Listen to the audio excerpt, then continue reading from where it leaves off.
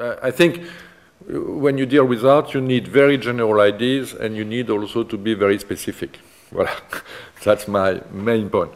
Um, and, and also second, uh, second uh, thing I would say, I would like to say first, is that, uh, as you will see, um, uh, literature take, uh, is, uh, from, for my way of, of uh, studying uh, art, history of art, literature is very important. So you will understand why, I hope, I hope so. Um, uh, but um, to put it simply, um, about this specific idea of tableau and composition, um, there is one key figure, one key writer. Uh, without him, you don't understand anything. and he's French, like that. and this writer is Baudelaire. You will not be very surprised to, to, to hear that Baudelaire is important. Well, but he's very important. And I know from my uh, own experience of teaching in, in, uh, in France and everywhere that most students, most young artists as you are, don't really read him you read him through interpretations, through the interpretations of Benjamin, of uh, Baudrillard, and so Benjamin is very good, but it's an interpretation. Baudrillard, it's very bad, and so on. So at the end, you don't read him. And the key thing, really, I insist on this point, when you deal with such a writer of such an importance, is to go back to the text and read the text not comments about the text. And my own comments, you can forget them uh, if you really read the text by yourself. what I will say is just to help you to read the text. As, and it is true also for the works we shall look at to, together. Uh, you have to look by yourself and study by yourself the words and not follow any command, even the best one.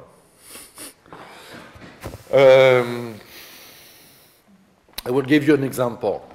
When I was 16, I discovered the work of Antonin Artaud, who is the second major uh, French reference for me. And uh, in 67, uh, three years ago, three years before I started to read uh, uh, Artaud, Jacques Derrida, you know him, everybody knows Jacques Derrida, had uh, published a wonderful text on Artaud, absolutely wonderful, in L'écriture et la différence. It's a great, great text, and it helped me a lot to enter the work of Artaud. But then I forgot Baudrillard, uh, Baudrillard of course, but I forgot uh, Derrida, you know, and I entered the work of Artaud and I didn't, I didn't reread this text uh, since, I don't know, maybe 20 years. I still said that it's a wonderful text, but Artaud is much better, of course. Voilà, that's very simple.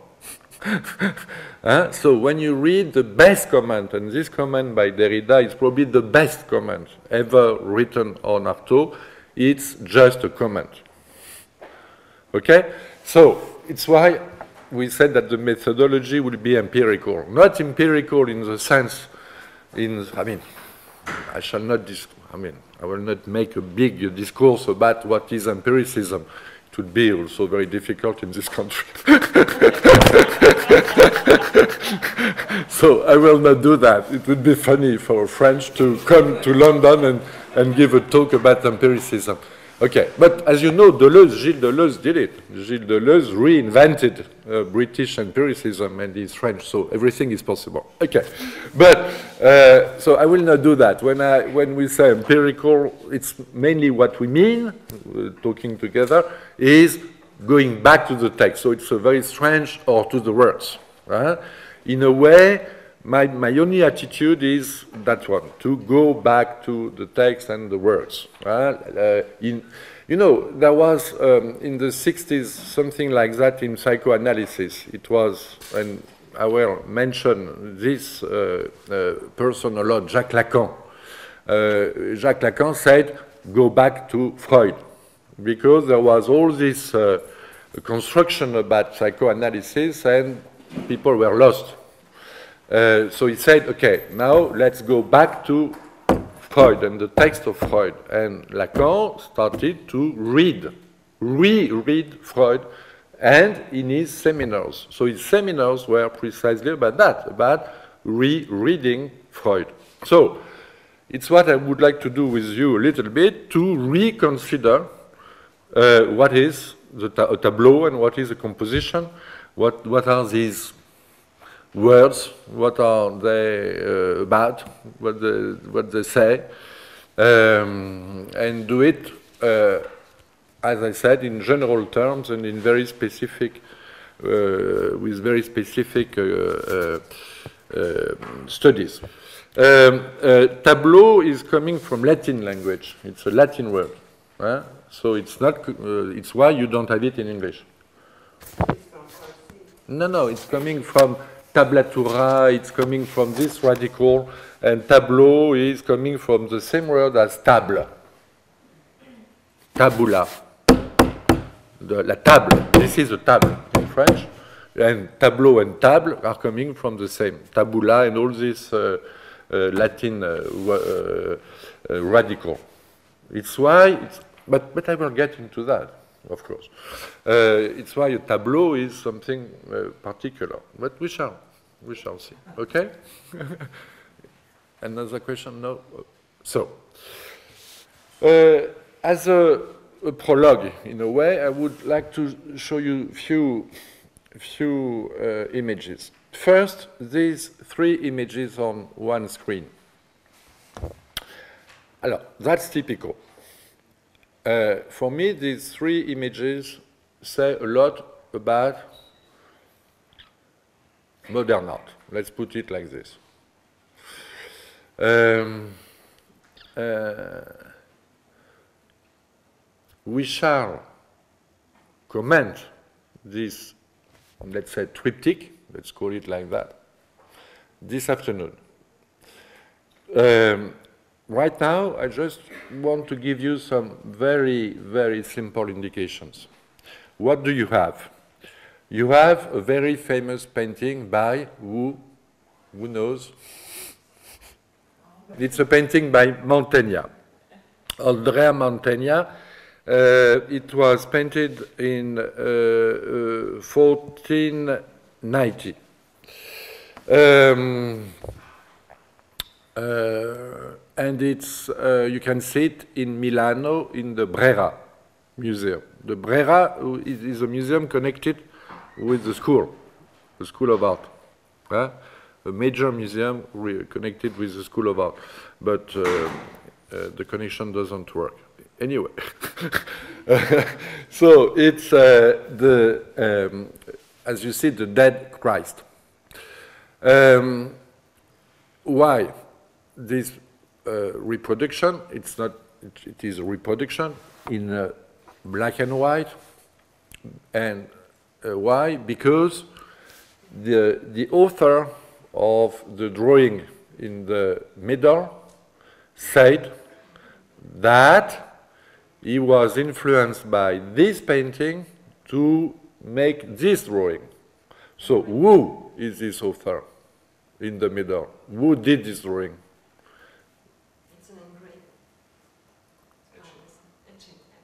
Ah, excuse me, it's an etching, etching. but, but it's coming from a drawing. Do, we, we shall show you the drawing this afternoon. And there is no difference between the drawing and the etching. I mean, very little difference. but, but it's an etching, for sure. Alors, who is the author? A major, I help you, a major British artist.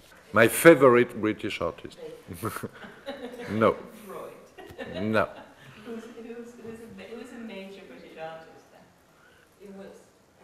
He was. Richard Hamilton. Alors, we shall give all the details this afternoon. He, he, did the etching very late, in 1990. But the drawing, he did the drawing very early. And uh, he, he uh, and he did the etching 30 years after the drawing. Even more, it's 40 years. It's just amazing. So, it's a very, very important work by Richard Hamilton. Why? Because it is very early. It, no, the, the etching is very late. It's 1990, but it's coming from a drawing, a very early drawing. And this early drawing is about a specific moment of the novel by uh, James Joyce called Ulysses. Who read Ulysses? Ah. Alors, to tell you the truth, I gave a course of one year about Ulysses and modern art because I think that this novel is very, very important for the understanding of modern art. Alors, and Richard Hamilton is one of the artists who read this book and who found in, in, in this book uh, a strong, deep, personal uh, uh source of inspiration. Connected with another source, which is Duchamp. Th these are the two sources of Richard Hamilton Marcel Duchamp, James Joyce. And when he was, and in the uh, 50s, he decided to make some illustrations, illustrations of the book. As you probably know, illustration is very important in British culture, uh, more than in French culture, for example. And, and it's a very interesting point, illustration in itself. Huh? And he decided to illustrate the book. Even if you didn't read the book, you know that it is big. And you know that there are many, many, many images in this book, many possibilities of, of uh, seeing. I mean, for the reader, there are many things to uh, think of, uh, to imagine. Uh, many images come to your mind when you read it, because it was written like that to produce images. So you have images, a flow of images. And he decided just to select very few of these images. And among these very few images he selected from the book, this one. This one of one of the two main characters. I mean, no, of the, the main character uh, with Leopold Bloom. Leopold Bloom, the, uh, with the main character, the other one, uh, the other one is Stefan Dedalus. And this is a moment in the novel where uh, uh, uh, Bloom, Leopold Bloom, is wandering in the city center there are many, many little things happen to him, nothing important. Huh? It's a, quite a banal day in his life. And The book is about just one day of, of this uh, man. He's wandering in the city center and he has the idea of going to a Turkish bath. Turkish bath. Uh, and um, uh, um, and is foreseeing uh, uh, his experience of the bath, of being in the water, in the warm water, and so on. Okay? And so he is imagining, foreseeing himself in the bath. And in the narrative, there will be no description of of him being in the Turkish uh, bath, but just him forcing himself. Okay? And that's what uh, Hamilton represents. And he says that, so he represents Bloom forcing himself uh, in, the, in the water. But as you see, he represents uh, uh Bloom not in a public bath, uh, on dit bath, hein? Bath, not in a public bath, but in, in the uh, uh, bath tube. So in a private uh, situation, not in a public situation. Okay? Um, so, and uh, so you have an object, the bath tube. And yes, it's a bath tube.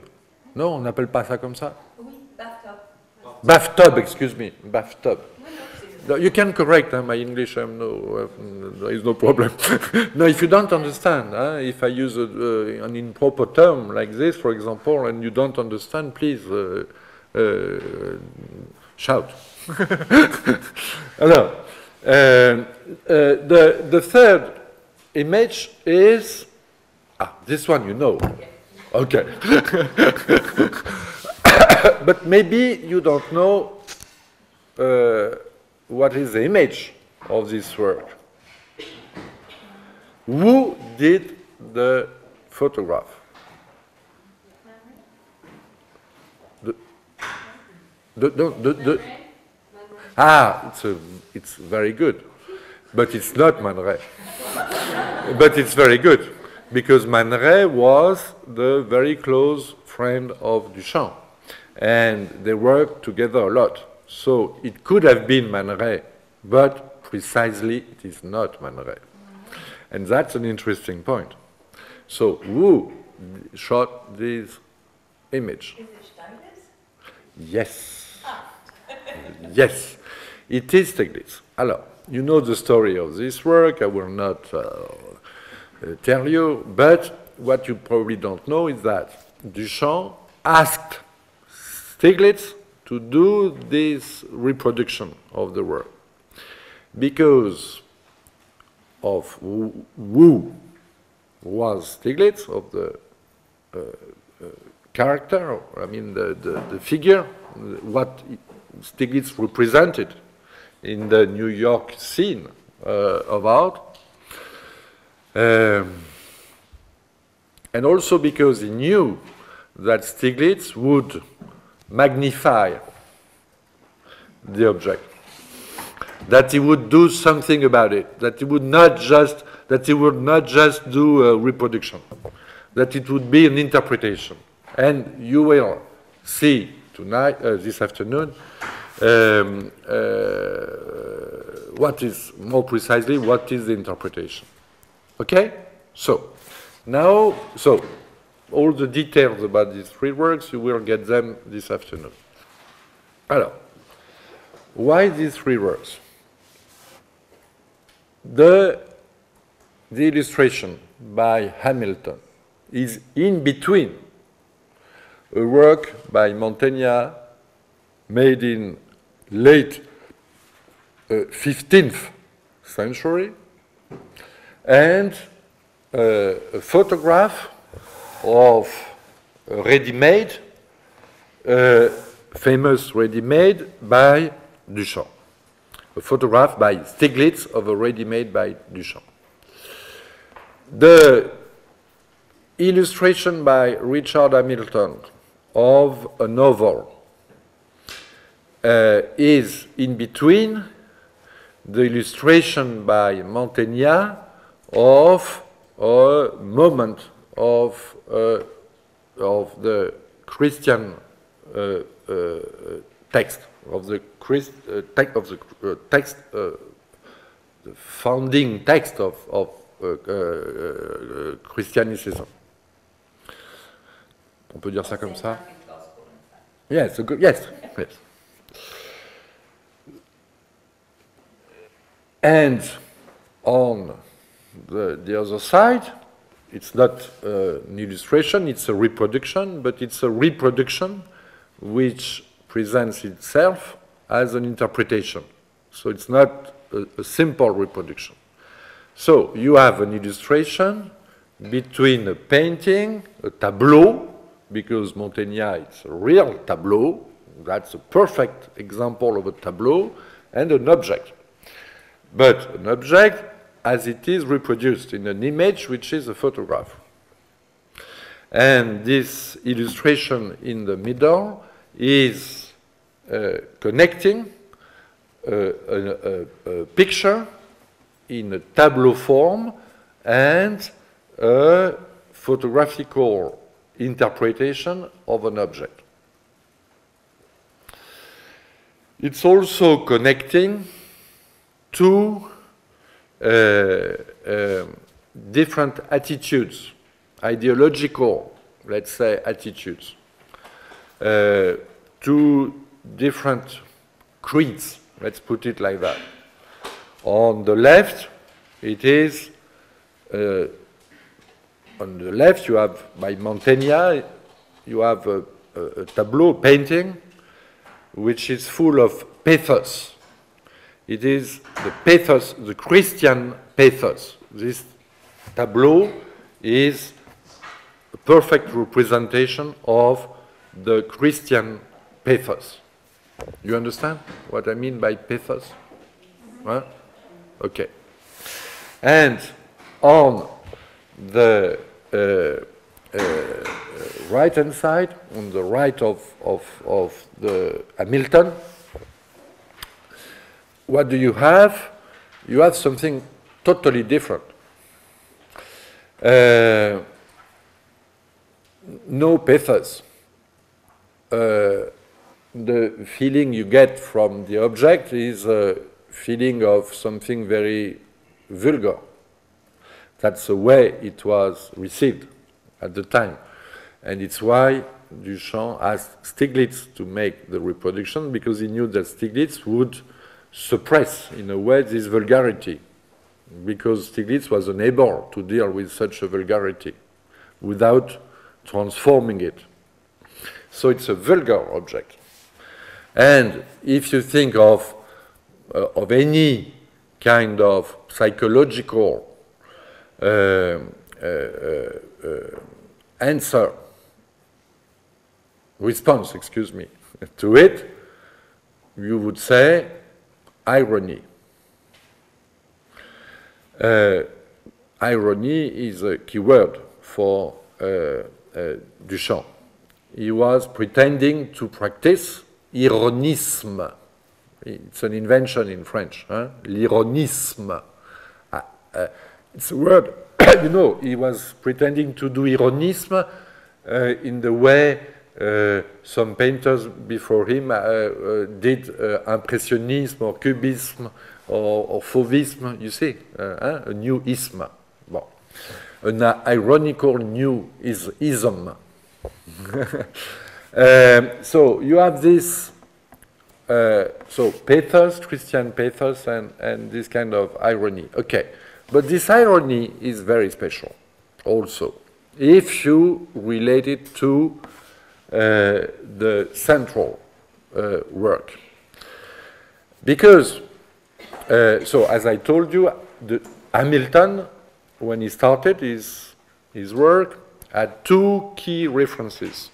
Joyce, Duchamp. Joyce, Duchamp. These are the two references of Hamilton. But if you read the text of Joyce, we shall do it this afternoon, and you will see how precise it is when you go to the text. Always, always you have, you must go to the text. When you go to the text by Joyce, you realize that this uh, vision of himself uh, Bloom has when he's going to the Turkish uh, bath is very specific. He's thinking of himself as, uh, um, as you will see, but I would not like to say too much because I want you to discover it. He's uh, thinking of himself in oriental terms. Let's put it like that. You will discover the, the details. and is uh, thinking of himself in terms which are the opposite, but it's explicit, huh? the opposite of the Christian pathos. Bloom is a Jew. And just before this moment where he, he thinks of himself, he foresees himself in the bath. He had seen, he had seen a mess in a church. And he was very surprised by the, uh, um, uh, the procedure of the mess. And this description of the mess you will see this afternoon is one of the most fantastic, is one of the most funny uh, uh, uh, sacrilege. I mean, um, it's not the good word. Uh, what is a good word? Sin? No, um, blaspheme. Voilà. Thank you. yeah, one of the most be beautiful blas ever written in, in literature.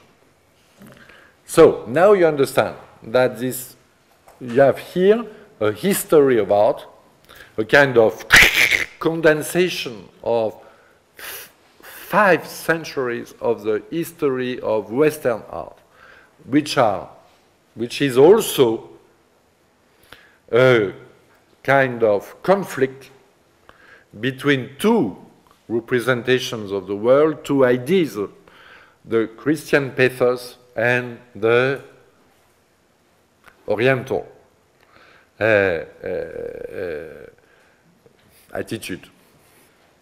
I tell you, uh, he's thinking of himself in Buddhist terms.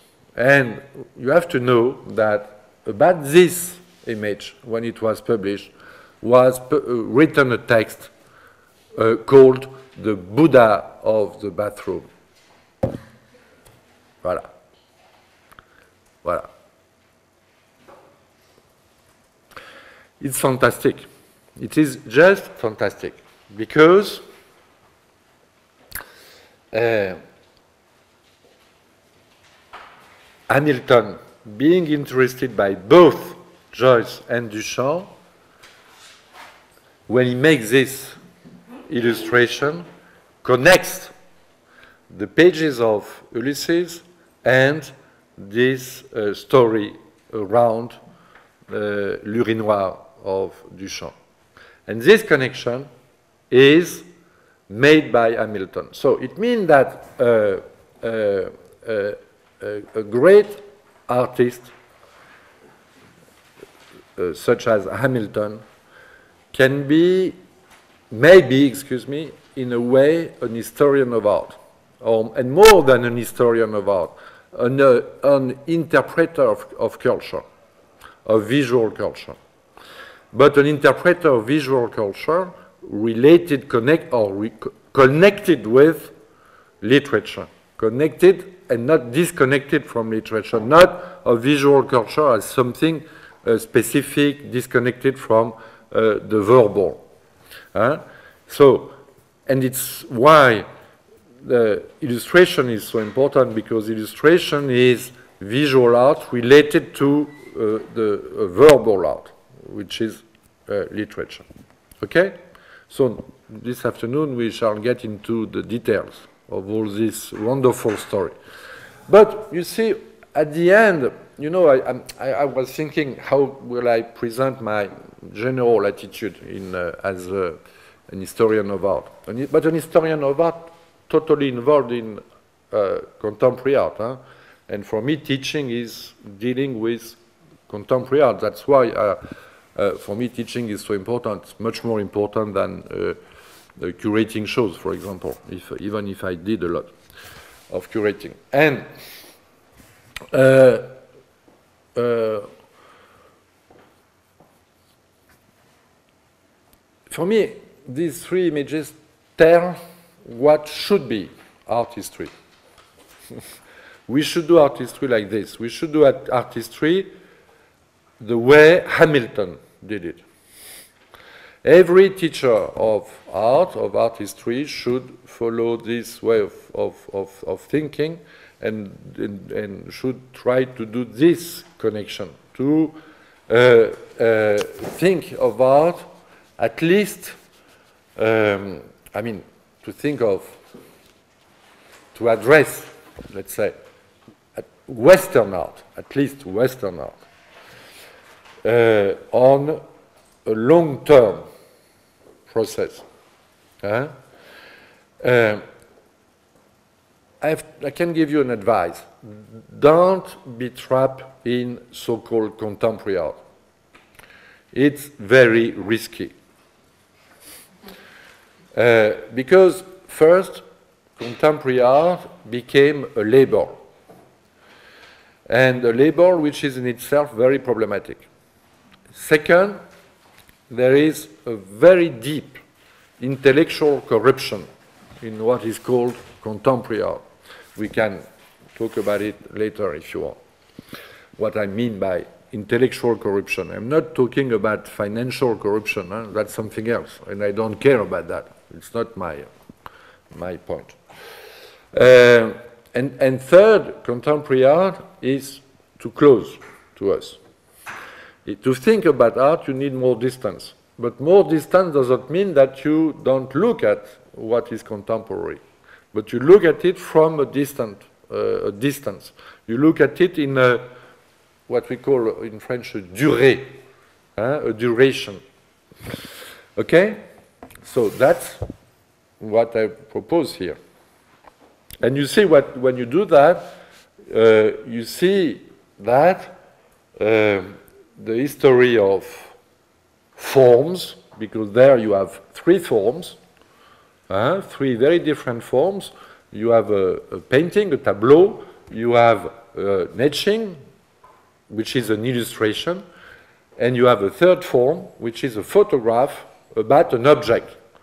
Uh, or, I mean, you have an object first, but you have also the photograph, uh, the reproduction, the photographical reproduction of an object. So you have three forms, at least, or four, four, if you consider that the uh, third image is about uh, the object and the photograph. Okay, so you have at least three and maybe four forms. Uh, and these four forms are very different, but they are, as you see, related.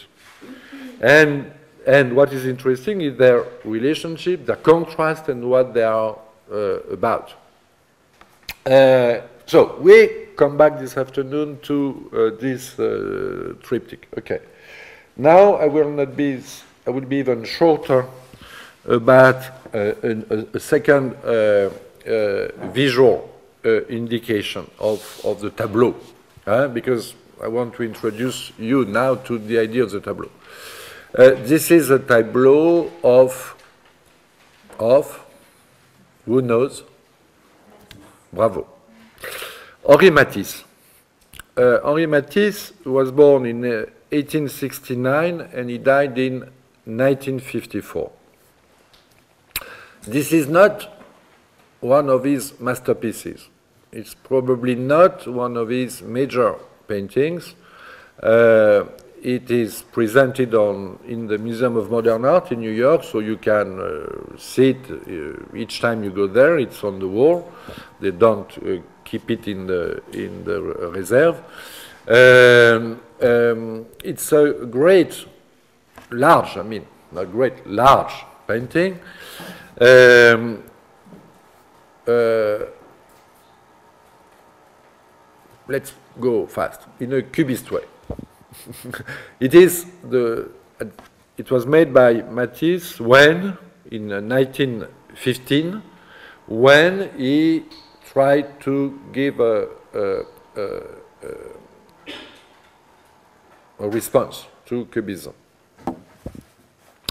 in these two years, 15, 16. And this is one of these paintings, which are in this dialogue of Matisse with Cubism. The dialogue of Matisse with Cubism is fundamental. Uh, for example, Duchamp. That's something which has to be said. If Duchamp became Duchamp, it's because he started as a cubist a painter, influenced in the uh, uh, in the line, let's say, in the track, following the track of Cézanne. Uh, and you have in uh, uh, Philadelphia a painting of his, a portrait of his father, painted as in the Cézannian uh, way. And then he became cubist, and then he stopped. But he didn't stop because of Picasso. He stopped painting because of Matisse.